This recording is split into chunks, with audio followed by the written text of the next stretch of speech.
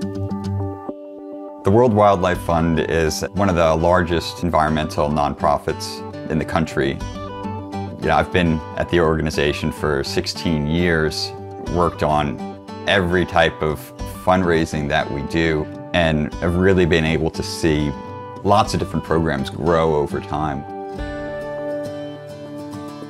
SAS has really allowed us to sort of say every decision we're going to make at WWF is going to be one driven by data.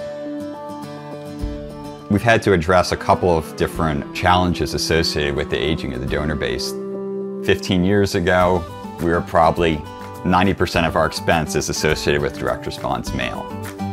Now as an organization, it's probably a third. So much more of our expense goes to looking for people on online channels or television. Fortunately for the organization, all of these new channels are bringing in relatively younger donors.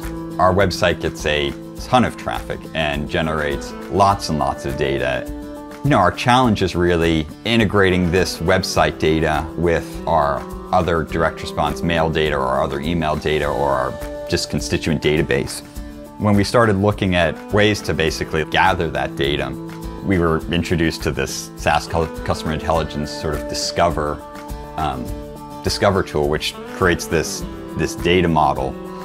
And what we're beginning to look at in SAS CI 360 is what other aspects of the experience can we begin to sort of personalize to the donor.